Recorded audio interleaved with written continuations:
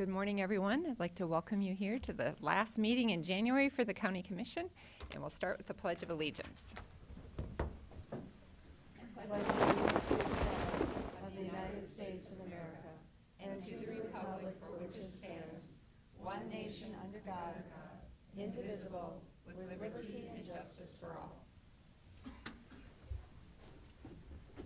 Documents are available for review down next to Commissioner Heiberger, and somebody back in the corner already reminded everybody to silence their cell phone, so I don't need to do that. Um, And Carol is here this morning if you need a listening device. And so with that, we um, will start with what I think a lot of you are here for. We have the pleasure of having the swearing-in ceremony this morning for the Minnehaha County State's Attorney, Crystal Johnson. Judge Robin Houwman is here to administer the oath. Thank you.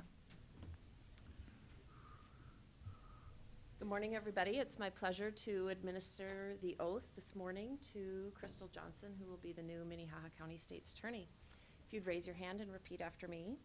I, Crystal Johnson, I, Crystal Johnson, do solemnly swear do solemnly swear that I will support the Constitution of the United States that I will support the Constitution of the United States and the Constitution of the State of South Dakota, and the Constitution of the State of South Dakota, and that I will faithfully and impartially discharge and that I will faithfully and impartially discharge all the duties of my said office all the duties of my said office of Minnehaha County State's Attorney. of Minnehaha County State's Attorney. Congratulations. Thank you.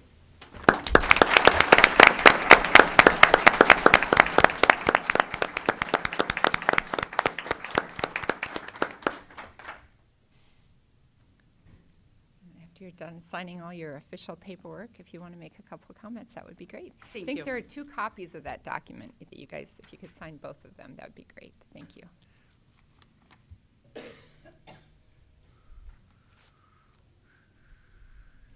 And I'm going to apologize from the uh, beginning. CityLink is apparently down today, so all the people who are tuning in that wanted to see you live and in person are just going to listen to your beautiful voice. That's, that's probably better anyway.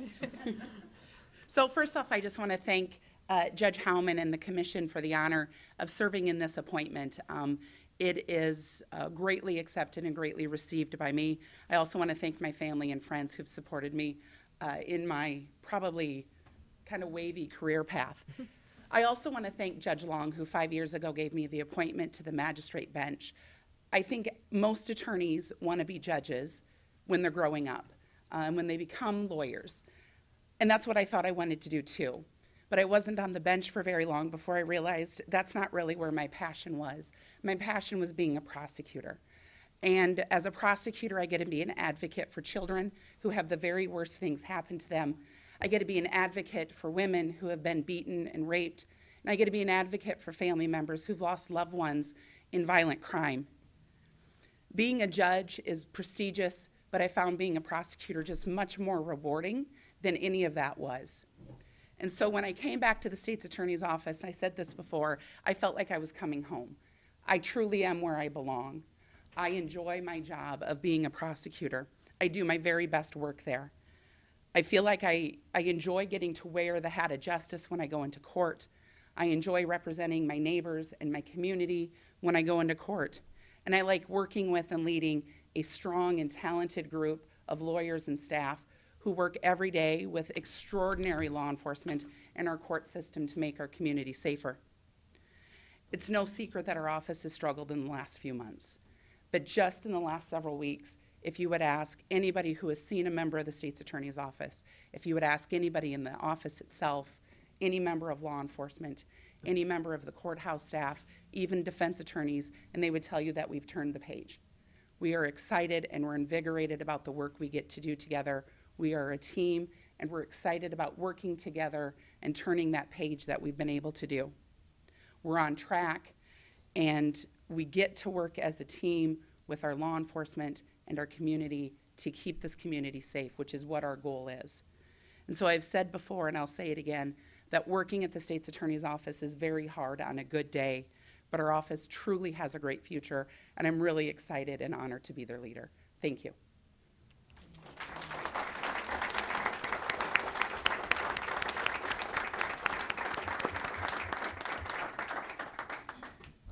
Both for being with us this morning. It's an honor to be part of the process, so we'll get your documents notarized and we'll get them back to you. You'll- Thank you very much. Thank you for everyone who came this morning to support um, Crystal in her new role. She'll need all of your support in the days ahead. She has accepted a very difficult job, so we appreciate it. Thank you.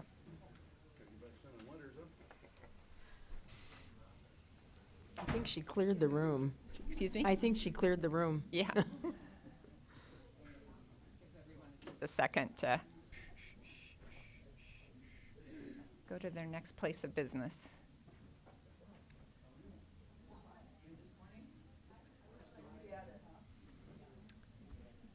Okay, that takes us to regular routine business.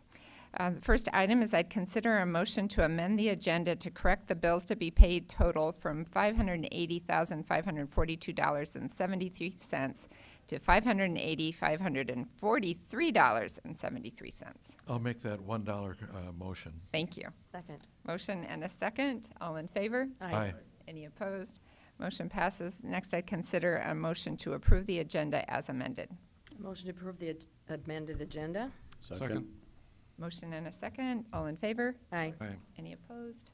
Motion passes unanimously. Takes us to item two, to approve the commission meeting minutes from January 21st, 2020. Motion to approve? Thank you. Se- Sometimes I have to hold you back, and sometimes I have to encourage you guys on. Okay, I got a motion and a second. All in favor? Aye. Any opposed? All right, motion passes unanimously. Thank you. Next item are bills to be paid in the amount of five hundred and eighty, five hundred and forty-three dollars and seventy-three cents. Pay the bills. Second. Motion and a second. Any comments? No. Commissioner Barth. A couple of bills today. We have twenty-five thousand going to the Garretson Fire Department, uh, or ambulance, I'm sorry. Then we also have uh, twenty-six thousand going to uh, forensics with uh, Dr. Snell's group. And uh, we also have uh, nineteen occurrences of outside attorneys getting more than a thousand dollars for one case or another. Looks like a lot of A and and stuff like that, but nineteen separate. Uh, I think I saw one for four thousand, uh, two for four thousand dollars. And so that adds up. Yes, it continues to be a struggle to try to control those outside legal costs. I appreciate you highlighting some of our bills, because I think it's always, for me, it's always really instructive to look through those bills and, and amazing to see the breadth of the types of um, services that the county provides and that we taxpayers pay for. So, thank you. Anything else? So we have a motion and a second. All in favor? Aye. Any opposed? Motion passes unanimously. Next item, um, we'll start with reports that we have the Auditor's Office Financial Report for December 2019. Good morning, Vicki. Good morning, Commissioners. Vicki Hewitt from the Auditor's Office, here with the December financials.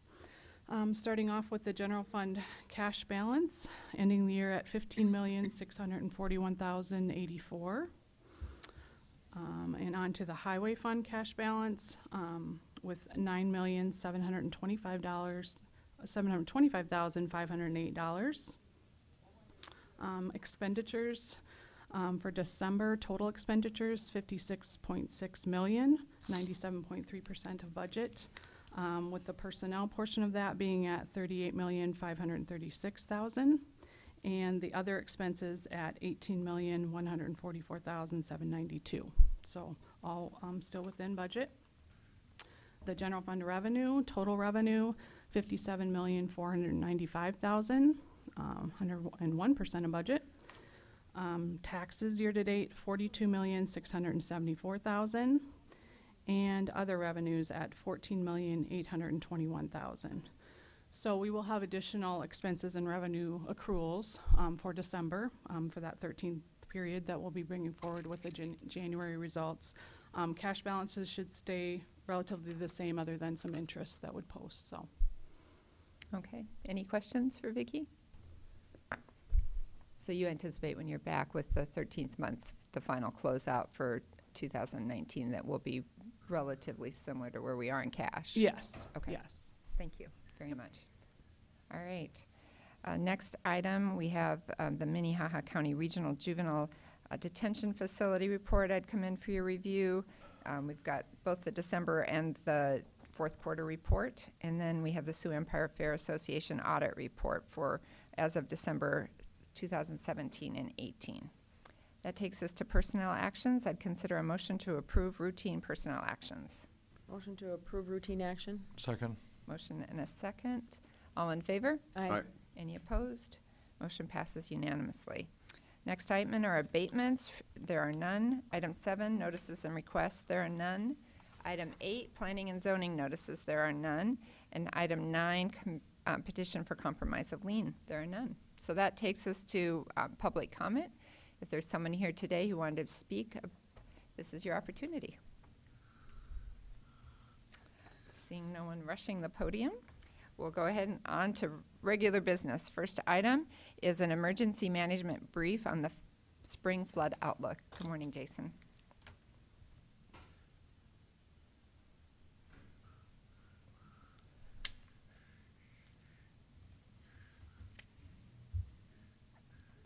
This is uh, Jason Gearman, Emergency Management. Um, I obtained this PowerPoint from the National Weather Service. They've been giving us briefs uh, monthly, and then um, coming in the middle of February, we'll start getting maybe bi-monthly or more regular briefs as they can pin down on uh, what they think may happen uh, with the weather, um, what's going to happen with the flooding. Uh, This first slide here is calculated soil moisture. And as you can see, the dark green in the middle, that's where we're at. It's as high as it's ever been at this time of year, so they're predicting it at one hundred percent. Um, Next slide. And that's just another uh, slide that predicts our area through Minnesota. You can see where all the, we're not the only one that are in this type of situation. Now, this one is the most I can't read the. This is the Renner Aquifer. Uh, this, how high that in-ground water level is, and as you can see the, the red line there, um, it's as high as it's ever been. Uh, it's three feet above normal right now, um, and I think it's one or two feet above what the highest previous was.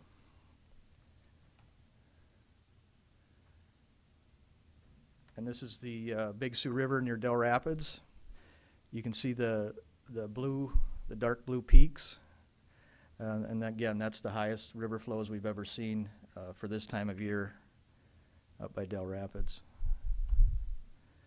Here's some snowpack or snow depth uh, throughout the area. Obviously, the, uh, the bright, uh, the brighter purples, reds is the higher snowpack. Uh, we're sitting in a pretty good situation right now with the thawing we've had and the minimal amount of snow, and that's what we'd like to continue to see is the 30 degree temperatures during the day, freezing at night to give that snowpack, get that snowpack down in our area. So if we continue to see this, the outlook is better. Um, if we get some extremely cold temperatures and a bunch of snow, you know, obviously we're going to have some concern about that.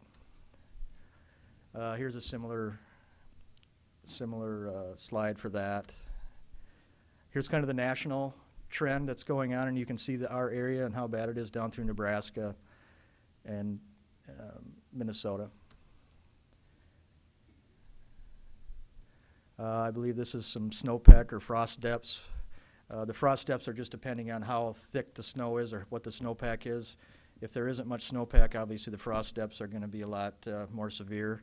Um, but it's not as bad as it was last year because we haven't had the long cold temperatures that we had. And this is the expectance of a flood. Um, so we're, we're in a moderate to severe uh, flooding prediction. Even if uh, we get normal precipitation during uh, the spring, we're probably going to have some sort of flooding to deal with. Um, so we're up in that high to moderate area of, of the risk for flooding. And this is just a similar one. That was uh, Vermillion. Um, so basically, what we're doing is, I'm working with the city of Sioux Falls. We're doing some different things and trying to get sandbags prepared early. Uh, I put out a request for you guys to uh, assist with maybe a warehouse, a heated warehouse, and, and- uh, I got a couple phone calls immediately. So we're working through the legalities on that with the city to try and get the state pen to um, pre-make sandbags. put them in a heated warehouse until we can get them out where we need them. And as soon as it gets nice out, where it's not gonna freeze, we can start doing this outside. I don't know if you guys have any questions for me. Any questions? Madam Chair, Commissioner I have a couple I'm, subjects. I'm I'd sure, I, I figured we would have questions from Commissioner Barth. Um, I wanted to ask about FEMA and where we're at with that. Uh, you know, there was talk about, uh, uh, doing some work in Renner, um, perhaps moving some structures. Is there any chance of that happening at this point? Well, I had some brief email discussion back and forth uh, about that. There was one request to do a home buyout. However, um, once you do that, uh, it's a 75, 25% match, whether the county matches it or you put that back on the homeowner. But then the um, county will own that land once it's done. So then you would be responsible for that lot if you were to move the house off or to buy it and destroy it. Um, FEMA does offer that program, and it's still available. Uh, FEMA has closed down their, their DRC. Um, They've moved out, all the individual assistance has been taken care of. And um, some of the townships are still getting contact with FEMA from the September flood. Um, But overall, it's been a pretty positive experience this go-around with FEMA from what I'm hearing from the townships. There was also talk about moving the fire station in Renner to the other side of one fifteen. It's my understanding that that's been talked about for years, but um, So we just buy more sandbags. Unfortunately, that's the plan right now. Mitig- Mitigation would be great to get that moved out of there, but finding the funding is difficult. And from my understanding, FEMA uh, will not build a new building, they won't build structures. Um, They will build, help with mitigation. Unfortunately, the mitigation would be to move that somewhere else. Um, But I know the township has discussed it. Madam Chair. So uh, another subject, I guess, is uh, the flu. Are you staying in touch with the feds on the, the- the coronavirus uh, issue? Uh, we get updates from the, the South Dakota Health Network every day or every couple days, and I know Sheriff Milstead um, has been uh, receiving those updates also. I had a conversation with him on, I believe it was last Friday, Thursday or Friday, uh, about it. And Finally, Madam Chair, um, I went to the fire chief's uh, annual uh, dinner on Saturday night, and uh, uh, Jason had volunteered to set up the event, uh, finding the location, arranging for the catering, and I think it uh, uh, went really well. And uh, Scott over there was in attendance also, along with the woman I live with, and uh, it, it was a good deal. Good. Thank you, thank you for your work on that. It was very nice to meet the other half of Commissioner Barth. Commissioner Hi- Karsky. Uh, Jason, the uh, updates on the coronavirus, if those can be shared with us, could you, I'd be interested. I, it's, yeah, that'd be email. simple. I just forward you on what, what what I'm getting, so, perfect. Yep. Anything else? All right, thank you for being here this All right, morning. Thank you thanks. very much. Okay, that takes us to a brief presentation on the Glory House. Dave Johnson, good morning. Good morning, Commissioners. Thank you for uh, allowing me to be here this morning. Um, I sent you just a brief outline as to some of the updates uh, regarding our, our movement towards our uh, Glory House Apartments. We're very happy that we actually opened the first uh, building on December 23rd, uh, and we had our first client move in. Uh, The excitement was pretty uh, uh, noticeable as he immediately took a picture of the apartment and his car that he had just bought and put it out on Facebook that says, "Best Christmas ever." So uh, that's, uh, uh, I think that's pretty uh, outstanding. Um, The apartments themselves, right now, uh, we actually have 12 people moved in, uh, even though the brief says 10. We've had a couple more. And then we have another 15 to 20 applications in the process uh, for those folks to move in. Uh, There is quite a certification process involved with this, uh, getting into the apartments. So uh, we've had all sorts of help from Lloyd's Properties to help us make sure that we're in compliance with the, the the HUD guidelines and everything else that we have to do. But I am predicting um, that we should be filled by the next thirty days. That's the way it looks. So, it didn't take long. Uh, in terms of next, uh, is, uh, we are currently in our middle of our capital campaign. We're just over halfway in terms of money raised of the one point three five million. Um, those, uh, dollars are, we're looking at, uh, uh, we're not sure when we, we are going to break ground and where all the other funding pieces are gonna come from, but we're working with Lloyds to, uh, who are obviously the experts, um, uh, to help us, cobble that together and, um, and we'll move forward to the next fifty units. So, Um, busy with other things. Uh, we're doing remodeling pieces in the treatment center itself. Uh, as of yesterday, we had uh, 92 clients total, both men and women.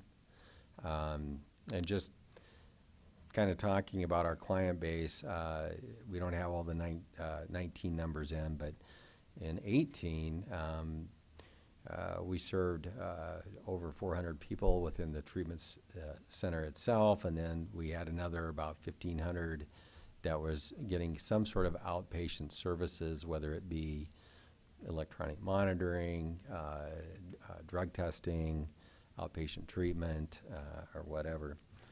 Of our client base, we had actually 145 different employers in Sioux Falls that actually employed our clients. And I, you know, I have to give kudos to our business community that, that uh, are willing to give our men and women a chance, because most of them just want an opportunity. So I think that's kind of important pieces. Um, we have about a three million dollar budget. That stays kind of the, uh, pretty close to the same. We employ over fifty-one people. Um, and, uh, uh, out of that three million dollar budget, uh, about sixty-five to seventy percent are spent on wages, benefits, and taxes. So, I'd be happy to answer any questions or comments. Questions for Dave? Madam Chair, Commissioner Barth? um, uh, Dave, you're such a low-key guy. I, you should be beating your chest and, and boasting about what your uh, organization has accomplished. And obviously, non-governmental organizations do stuff which, without you, we would have to pay to have done. And I appreciate very much the Lloyd companies uh, doing the, the work that they do in our community to uh, help you, to help us with the, uh, the safe home and many other projects. Um, you should be uh, trumpeting your accomplishments and, and your process. Why don't you outline briefly what you guys do? Well, th- thank you, first of all. Um, my mom taught me to be humble, and I listened. Um, not always, but I listened to that. So, I think, thank you for the opportunity. You know, um, we, we've been in the Sioux Falls community for a long time. 1968, Roger Frederickson had this vision. And uh, we have been, as part of the accreditation treatment facility uh, environment uh, since, uh, would it be 1990?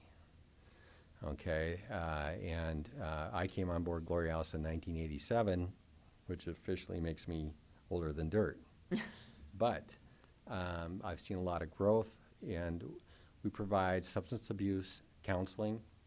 Uh, we are accredited treatment facility.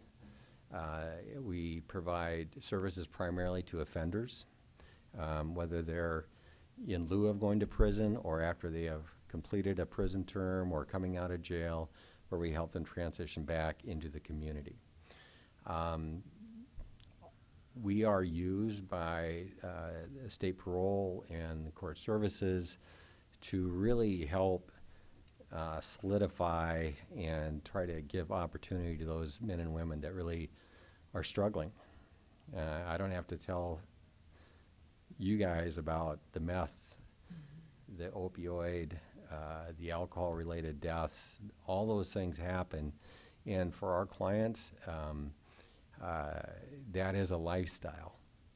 And it takes a lot of work then to try to help them figure out a different lifestyle that includes not using meth, not um, uh, committing crime, about really standing up and, and holding on to the values of the community. You know, uh, be a good parent, go to work every day, stay away from the things that can harm yourself and others. So, uh, besides the substance abuse treatment, our, our other largest component really is case management and employment. Our clients struggle with keeping jobs. In our environment in Sioux Falls, you can find a job. But our clients struggle at times, not all of them, with how do you deal with conflict on the job? You know, do you take a, throw a hammer at somebody because somebody says something to you, or perhaps you figure out a different way to deal with it? Um, I would probably figure out a different way to deal with it. And that's what we're trying to teach our clients is this is the things that you need to do to be successful so you don't continue to use, you don't go back through the courts, you don't go back into the jails, you don't go back into the prisons, you provide support for your families. Over half of our, our clients have kids. You know, so it's really an important piece to keep them in the community and learn how to connect and, and be good parents. Um, and as we all know, being a good parent is hard for, at least I should say, it, it has been for me, you know, and, and I think others struggle with that as well. Um, so we provide case management, we provide employment services, we provide the substance abuse counseling, we also provide uh, mental health counseling because it goes hand in hand. And uh, all these things work toward help people transition. Um, that was a long answer to a short question. Commissioner Heiberger? I'd just say that was an excellent answer, and I ditto what Commissioner Barr said, because you are very humble in what you do, and you do provide a wonderful service that we need. And so I'm excited to see the opening of more beds and the coming of, of even more. Fifty more is amazing, so they're needed. And like you said, with the meth and the opioids and the alcohol that we deal with, we need to have places, people are looking for places to, to get treatment. And it's a Thank you. long process. Thank you very much. Mm-hmm. Anything else? Well, we appreciate you taking the time to be with us this Right. morning and give us this update. Thank you very much. For Thank you for the work you do. Thank you for the support, too. Yeah. I appreciate you. it. All right, so that takes us to item 12, which is to consider bid results and award recommendations for Highway Project MC 20-02 and authorize the chairperson to sign an agreement with Double H Paving for mill and asphalt overlay. DJ, good morning. Morning, Commissioners. DJ Buthe, Highway Superintendent. On January 8th, we received seven bids for our mill and- annual mill and overlay project. And uh, we had pretty good bids uh, this year. Uh, The engineer's estimate was just over $3.1 million. Double H paving was $2,941,562.73. Uh, This is for resurfacing 15.9 miles of our county highway system. Most of it is east of of Colton and southeast of Crooks. Uh, one thing that is a little bit unique, and I'll kind of piggyback off what Jason was talking about earlier with the flooding. Uh, typically, when we do a mill and overlay project, uh, we mill approximately three quarters of an inch of the existing asphalt, and we replace that with two inches of new asphalt as an overlay. Uh, this year, we're doing three point seven miles of a two-inch mill, and then a three-inch overlay, and that's because the pavement is, is much more deteriorated than, than typically uh, is the, the typical deterioration on a mill and overlay project. Uh, That can happen from a number of things. Uh, One example of something that can cause this is when we have a high moisture content throughout the winter and into the spring, and we have freezing and refreezing and thawing out and refreezing. And uh, uh, we're expecting a lot of that this, this coming spring because of the high moisture content in the soil. And so the freeze-thaw cycle is probably going to create a lot of problems with our road network uh, this spring. So just thought I would add that comment. Um, But other than that, I can stand by for any questions if you have questions on our mill and overlay bid award. Otherwise, I would uh, ask for your award and uh, signature on the contract for Double H paving. Questions for DJ? Move approval. Second. Motion and a second. Anything else? Um, Roll call vote, please. Bar, sorry, Barth, Aye. Heiberger, Aye. Karsky, Aye. Bender. Aye, motion passes unanimously. So that takes us to item 13, which is a brief presentation on the Highway Department. DJ? Commissioners, uh, uh, this is my 2020 Highway Department update. Uh, We had a pretty excellent year last year, and we're looking forward to another great year uh, this year.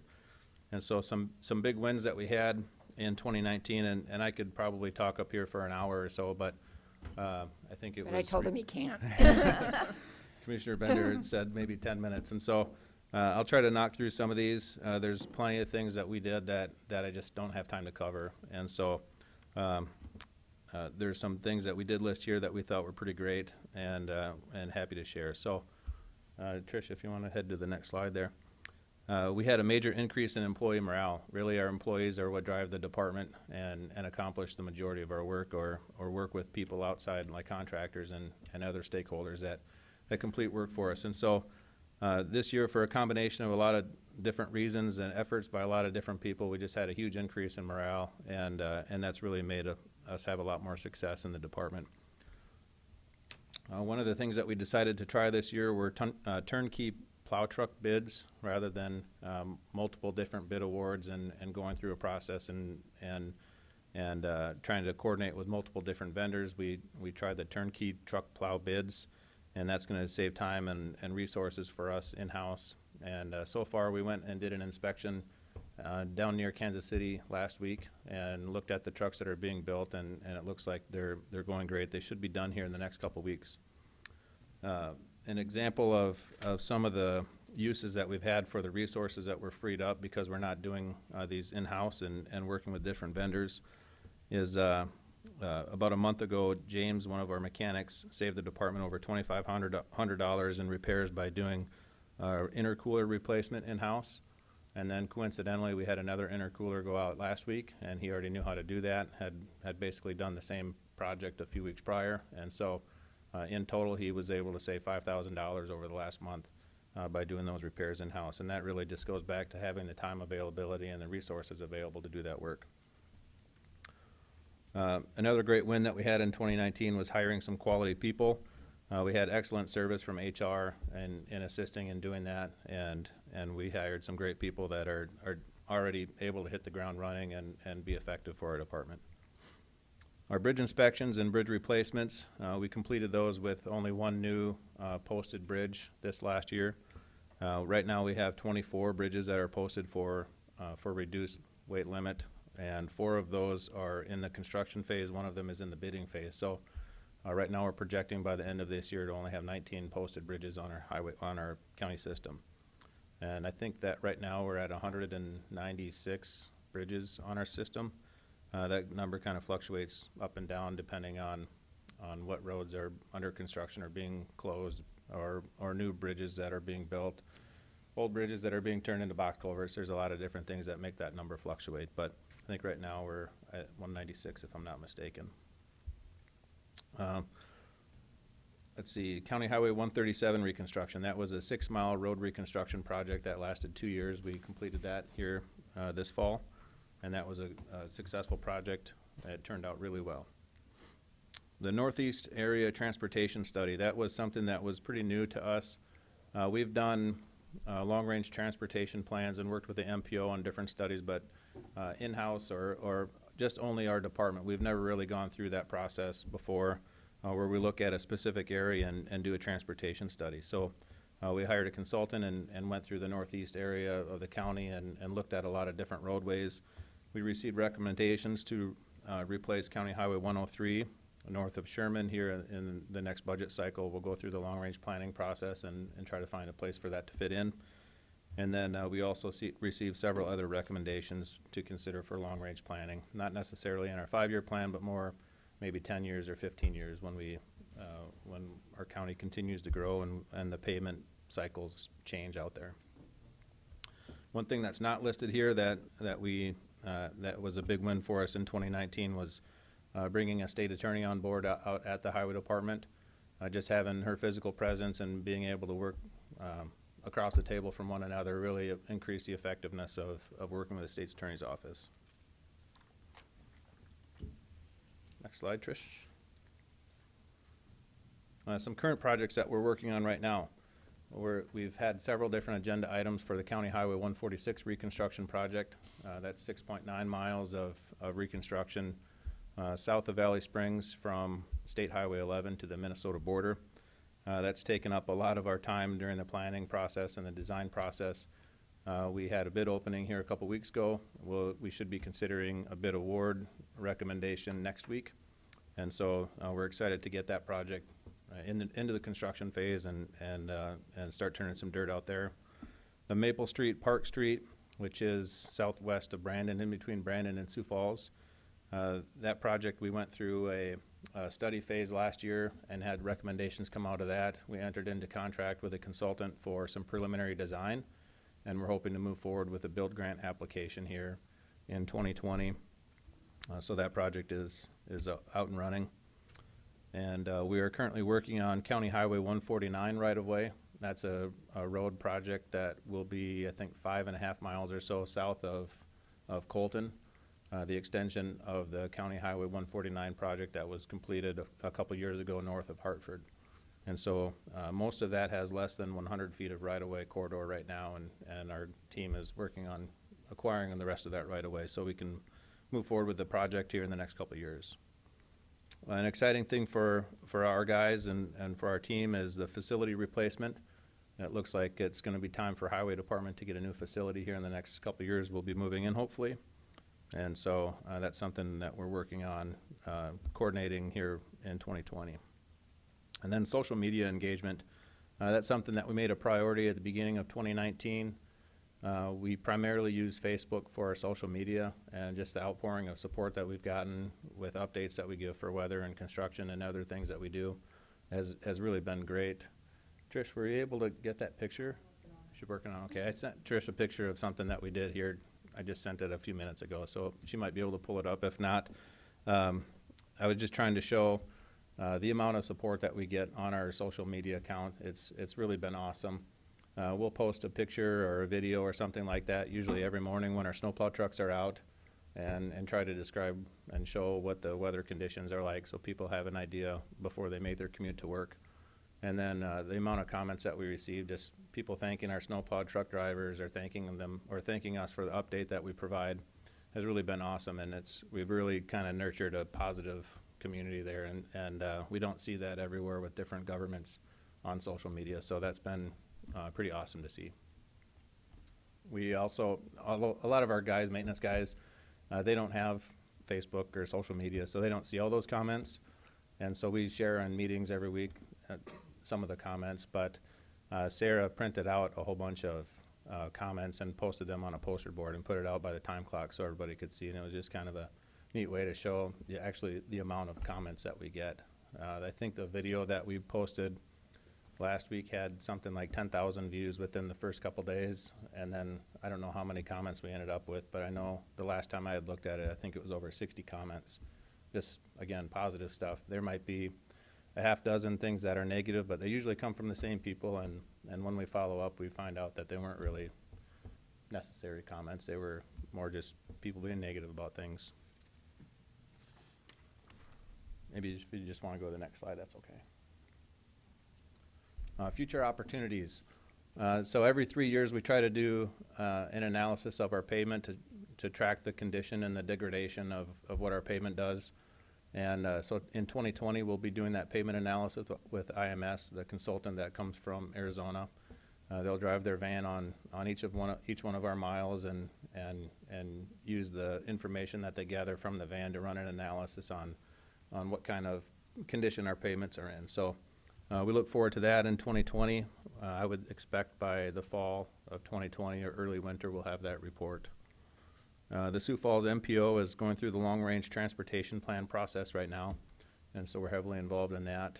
And, and so that will be something that throughout this year, I'm sure the commission will hear more updates on, and uh, we look forward to the results of that transportation planning process.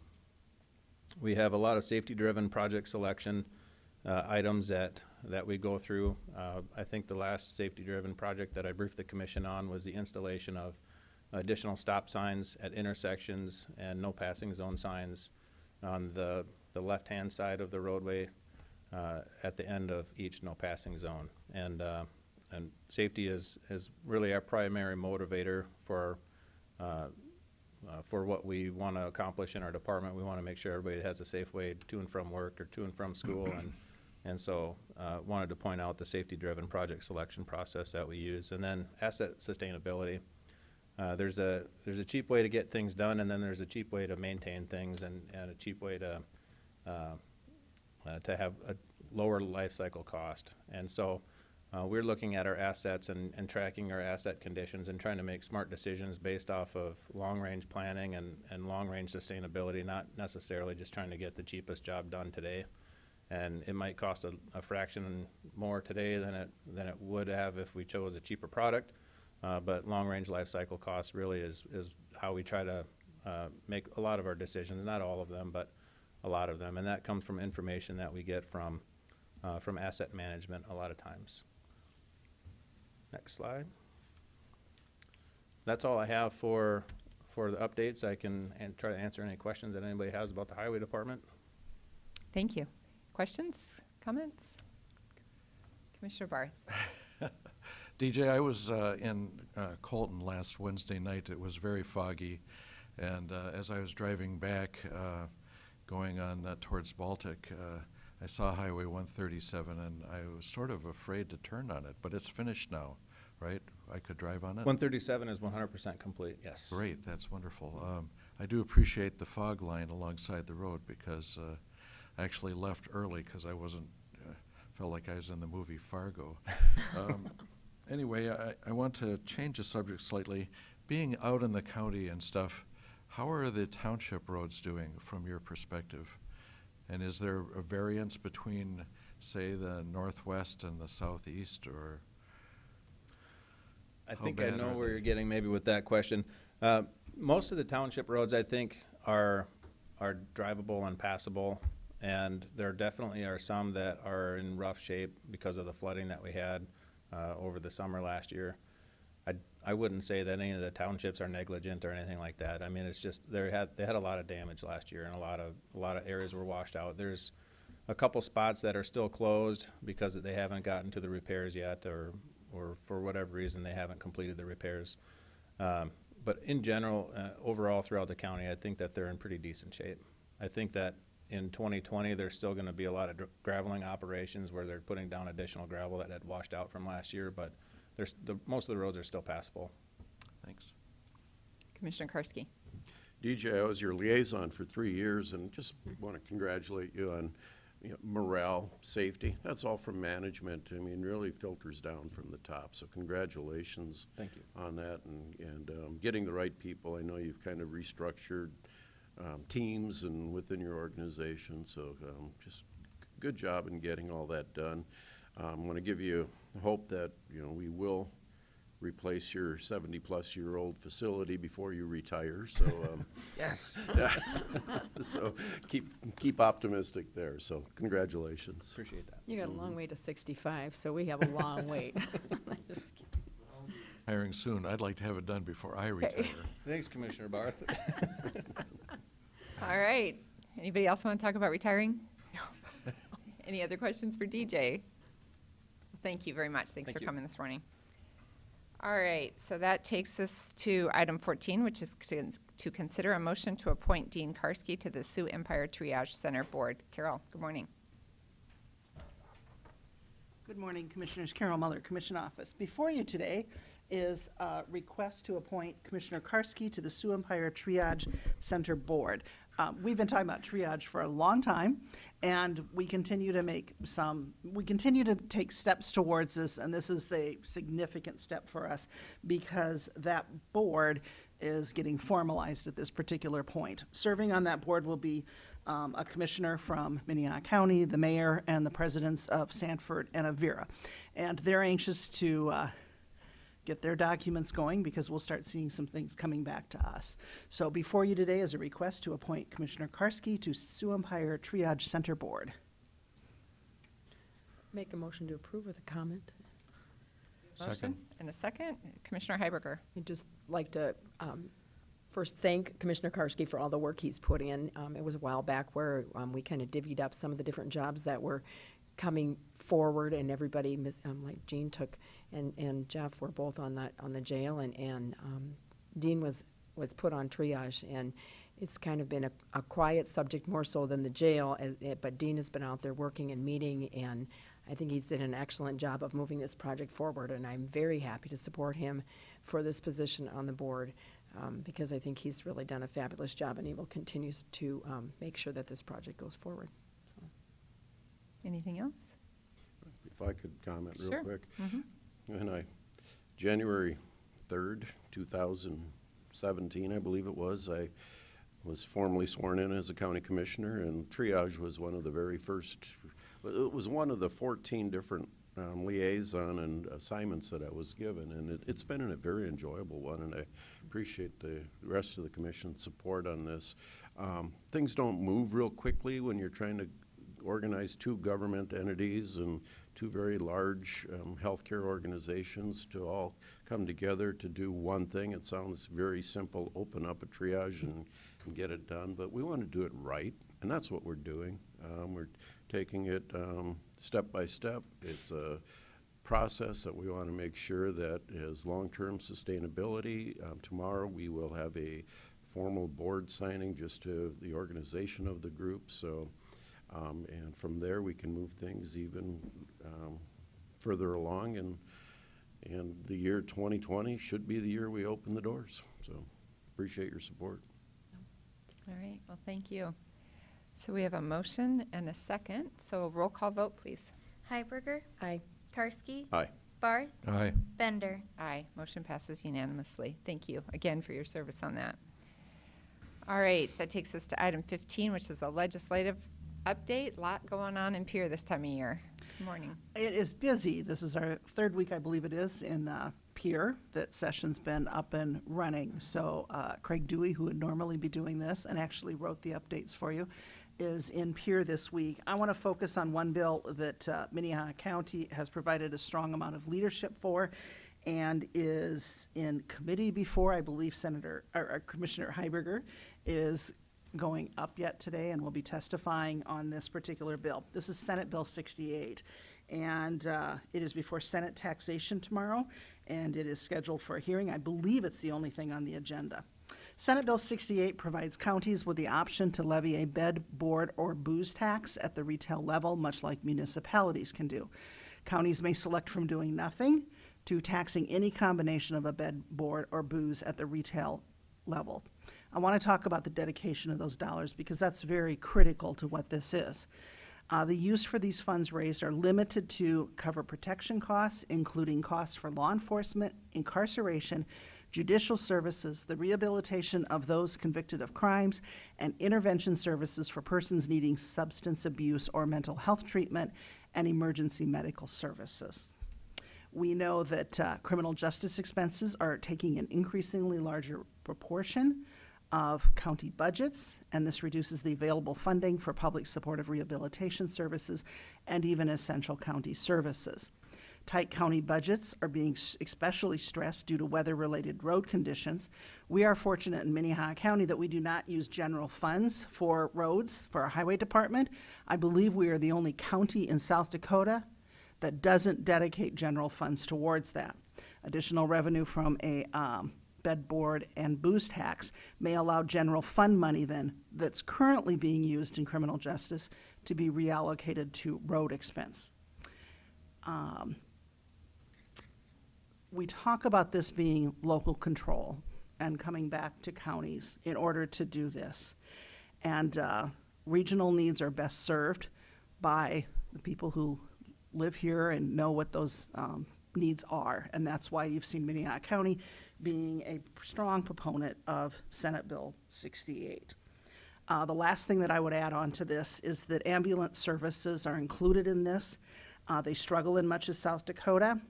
Uh, we're fortunate here that uh, we have a metro community that is uh, provided for non, that has ambulance services provided by for-profits. but the majority of South Dakota is served by local clinics, fire departments, and nonprofits largely staffed by volunteers. So before that is Senate Bill 68. We appreciate Commissioner Heiberger going up tomorrow to talk about it. I know that you guys have been active on that. I would just ask if there's any questions or comments that you have at this time before we talk about one additional bill. Questions or comments? Commissioner Heiberger. Just comment that um, it will be in front of the Senate Taxation Committee tomorrow, and we have to pass it out of committee in order to go to the Senate floor. And I would encourage you to reach out to our representatives that sit on that board, which is uh, Senator Stalzer and Senator Otten from, from um, Lincoln County. There are also several other on that board, obviously, if you would reach out to them with, and encourage them. Um, Minnehaha County uses twenty-five percent opt-out money. Um, and, you know, we're doing okay, but how far is that gonna go? And people are tired of having their property taxes going up. And this is an option for us to put into our toolbox. It doesn't mean we have to use it, but we could. And, um, we're not asking the legislators to raise taxes. We're asking the legislators to give us permission to go back to our own communities to see how they feel about it. And so we're not asking them to raise taxes. We're asking for permission to ask our own people. Madam Chair, question for Commissioner Barth. Heiberger. Mhm. Which committee is it again? Is it Senate taxation? taxation. Thank you. Anything else? Madam Chair? Yes. I would say that we're very lucky that uh, Commissioner Heiberger is able to go out to Pierre and represent us on this issue. She's certainly a force in the state's uh, County Commissioners Association. Thank you. Absolutely. And we really appreciate the work that um, the prime sponsors have done on that bill as well, Senator Steinhauer and Representative Reed. Um, Particularly Senator Steinhauer has really been a great partner in bringing this forward, and we really appreciate all of his hard work, so. All right, we can move on. Yes, uh, the one bill that we have not talked about before, but I was asked today to bring forward to you is Senate Bill 70. And that is the bill that is known as driver's license exams in Spanish. A few things that I would just point out about this that comes from the organizations, which are numerous, that are supporting this. What the bill does is it provides the driver's exam application, the manual, and the written exam in Spanish. The skills test, the driving test, still remains in English. The cost of this is fifteen thousand five hundred dollars. South Dakota is one of six states that does not offer driver's license exams in any language but, but English. As South Dakota seeks to fill employer workforce needs, the state has welcomed legal immigrants who do not speak English as their first language. Uh, many of our Spanish immigrants can converse at a fourth grade level in English or better. The challenge is that the driver's license exams are written at a higher level than that. And that is where it becomes the challenge that it's requiring a higher level of, of English. Roughly 4% of South Dakota residents live in homes that speak Spanish as a primary language. That's roughly 35,000 people in the state of South Dakota. And as we all know and appreciate, mobility is necessary to get a job, to support our family, and in many circumstances, to, to go through and work a job. So there's um, a sponsorship of a bill that is uh, before, and I believe it's being heard next week, and was asked to bring that back, and if there's any consideration for support from Minnehaha County. Questions, comments? I think, I think what we're being asked is if we would just be willing to sign as a, as being in support of this bill. Wouldn't that have to come as a resolution?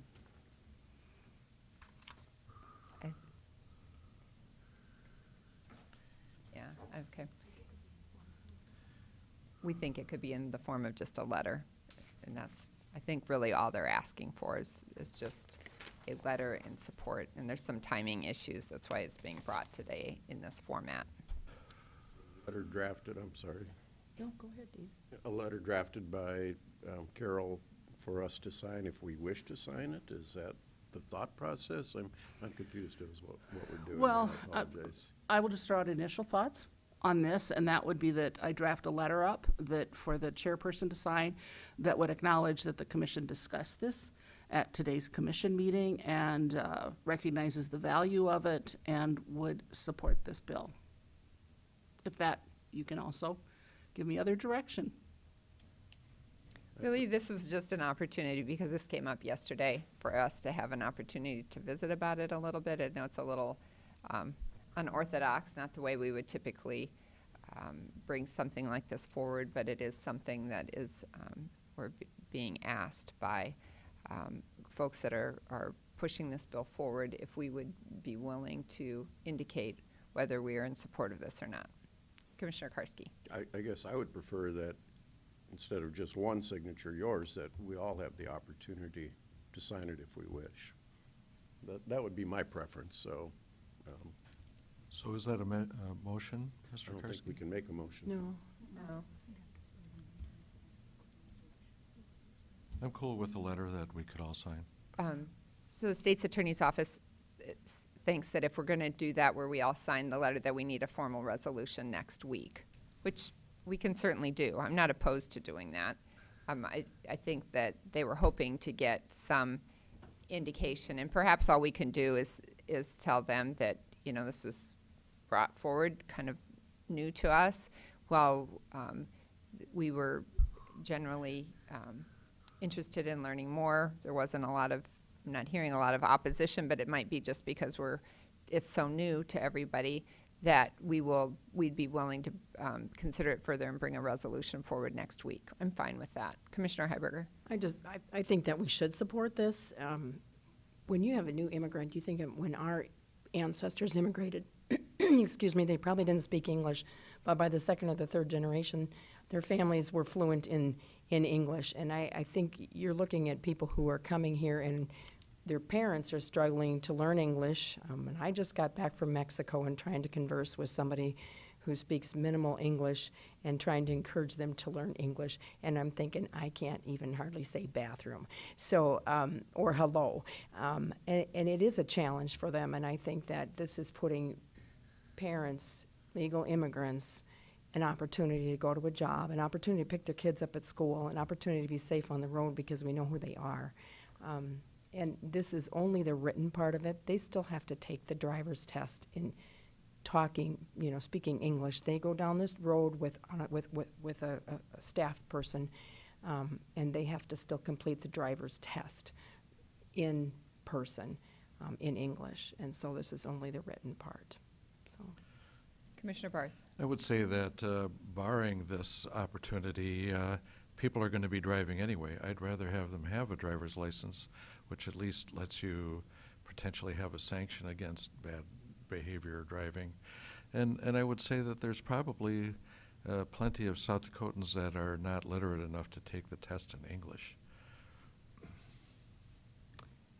And I think that that is the, why it was drafted this way, is recognition that people become more proficient in verbal skills in a language before, generally before they become proficient in the written skills. And I, I know I was visiting with somebody this morning where they um, ended up waiting a long time at the driver's license facility while somebody tried to help somebody who was not proficient in the written part get all the way through and complete the exam. Um, and then they did go out and take the driver's test and, and did not pass. So, I mean, there certainly are some checks and balances in the way the bill is drafted. It's, I think, a definite workforce issue. A lot of employers are supporting this because they are struggling to get um, workers, get workers to work, get workers that can drive company vehicles. And so um, I personally think that it makes a lot of sense. Um, and it's something that they have been working on, you know, for a while.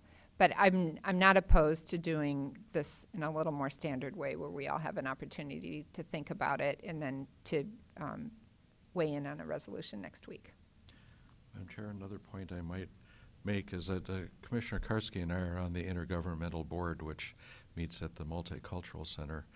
And uh, in discussing a similar issue, uh, they talked about using interpreters taking the test, and uh, I think it was like 200 bucks for someone speaking Spanish and 800 bucks for someone speaking Russian, and uh, you know it's extortion almost at that on that basis. Anything Do you remember further? that, Dean? Do you remember that discussion? Yeah. All right, any further discussion on this? Okay, just so I am on the same page, so no direction today, other than we will prepare a resolution per your interest. I think we could probably communicate that, that will be before you next week for each of you to sign.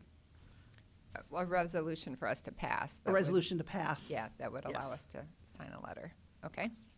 Commissioner Heiberger, They can watch the video if they want and see where they think the votes will fall. Thank you. they can listen to it, They but can if they listen can't to watch it it. because it's not on CityLink today, It will apparently. be, it will be on, um, the intranet, and we will be able to replay this. Okay, thank you. Nice. All right, so that's it for the legislative update. And that takes us to liaison reports. Are there any liaison reports today? Commissioner Barth? Last night, we had our planning and zoning meeting, and it was uh, the shortest meeting that I've ever had in all these years. Um, There were just uh, four items on there, and no one spoke on any of them. Uh, At the same time, we elected uh, Bonnie Duffy to continue as chair and Becky Randall to continue as vice chair of our planning commission. And the, uh, uh, the commissioners that we re-elected all thanked us for, uh, for that, uh, keeping them on, on the, on the board. Oh, and tonight, Scott's not here, tonight in, in Hartford, there's a meeting with the city discussing uh, joint jurisdiction. Okay. That's at the Legion there, a block and a half north of the brewery. Um, Commissioner Heiberger? I, I did get one phone call on that, or text message asking if I could come, which obviously I can't because I'm in Pierre, and I just commented too that, you know, I didn't know if any commissioners could be available, but they were hoping, so. I'm glad you brought it up, because I would have forgot. Thank you. And there's Scott now. You couldn't hear me, could you, Scott? Uh, Oh, I was talking about the meeting tonight in, in Yes. Hartford, and I also talked about uh, re-electing our officers uh, for the planning commission. Yeah, I, and I just wanted to remind the commission and I guess, uh, anyone that's listening that we have the meeting tonight at Hartford at the joint zoning, uh, discussion, joint zoning control with the city of Hartford. That's at seven PM at the American Legion Hall, which is on Main Street. So if you have any questions, call me. Scott describes it as across the street from City Hall. Yeah. Thank you. And thank you for your work you do on the Planning Commission. That has been, um, you've been a really valuable voice for us on that, and we Thank really you. appreciate it. And we thanks to all the folks that serve on that, because that is, that is a, um, that is a real public service, is what that is, so thank you. All right, any other liaison reports? Okay, new business? Go ahead. Morning, Commission. Chris Lilly, Equalization. Um, I just wanted to come in and give you a heads up. Uh, Our year for Equalization Office is wrapping up. Um, This is our busy peak time. Um, So with that, I just wanted to reiterate for the Commission and for the public that our assessment notices for your 2020 values for taxes due and payable in 2021 are required to be postmarked by law by March 1st.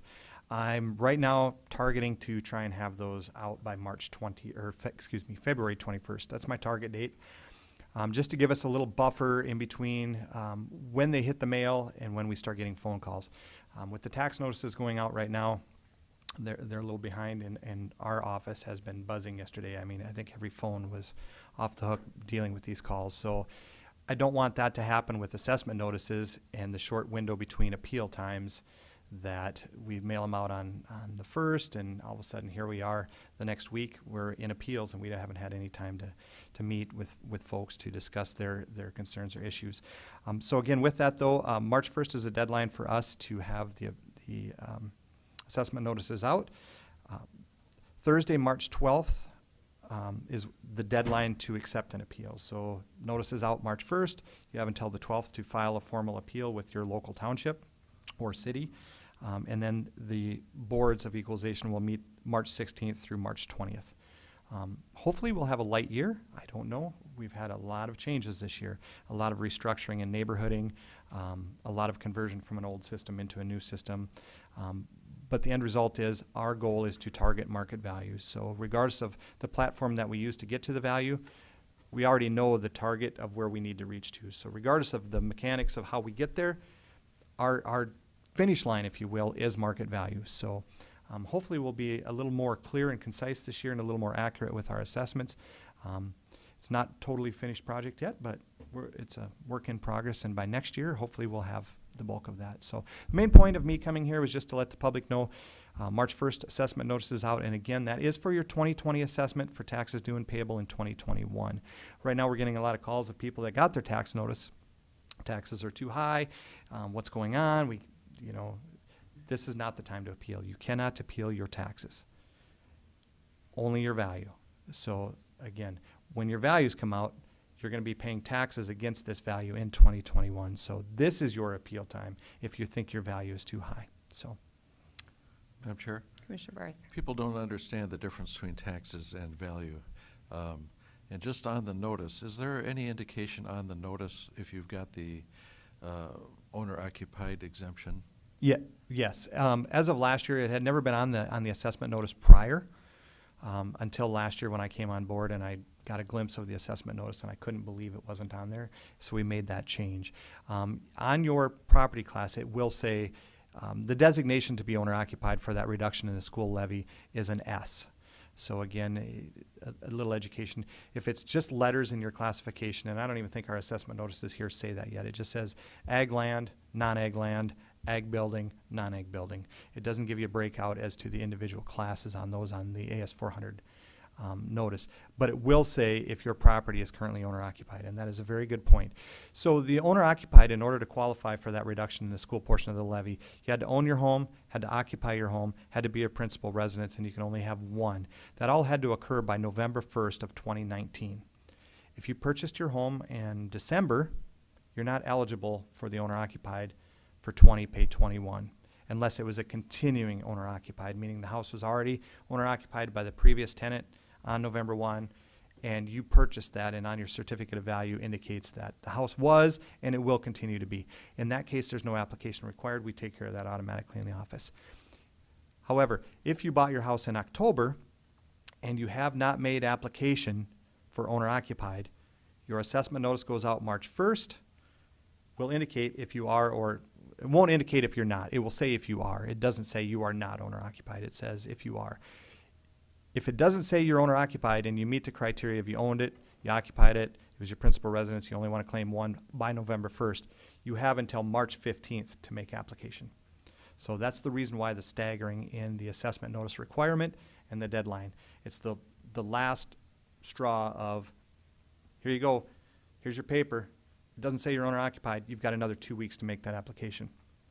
Those applications then we have to bring before the county board in April to get approved, but once we receive that and we verify that, it will be taken care of. So our office also has been mailing out, I don't know if they've sent quite yet, um, they were working on, I, we've got a lot, a lot. We've screened through the system to find out anybody that's purchased a home that potentially could be owner occupied that is not currently coded as being owner occupied. We're mailing out those applications.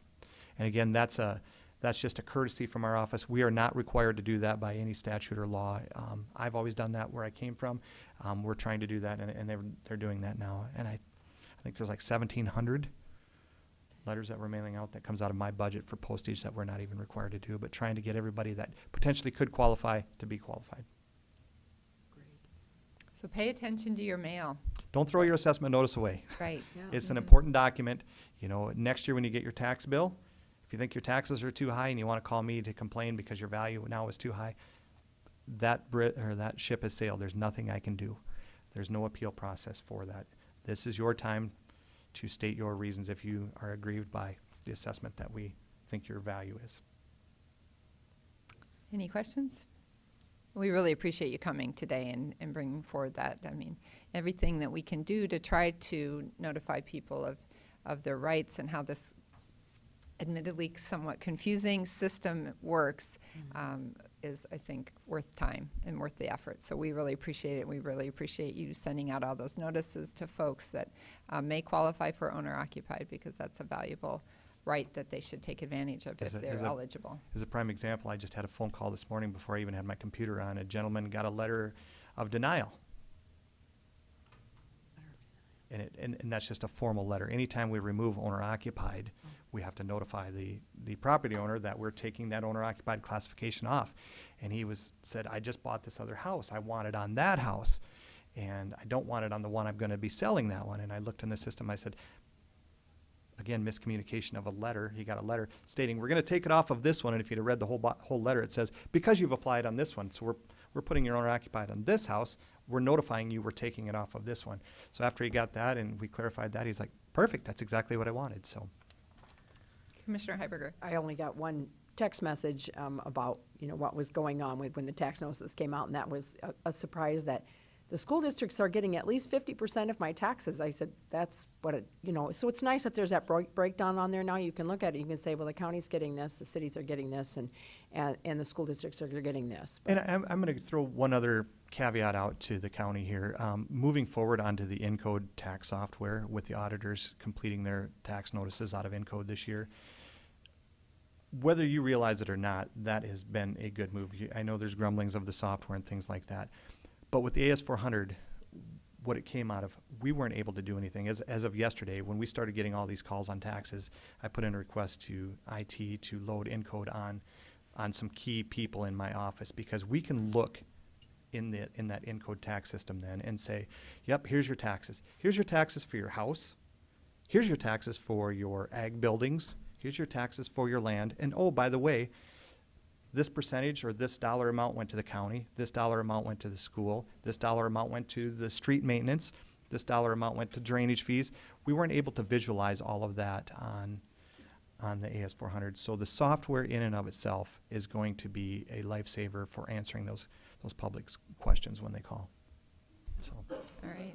Madam Chair. Commissioner Barth. I was standing next to you at the counter, and uh, a fellow came in that he understood his taxes, but he wanted to know what it was being spent on. That's not your, b- b- that's not your department No, that it's not. decides where the school's spending it or whatever. But people come in and they're all, all confused about all of this, and the more communication we do on this, I think the better off we are.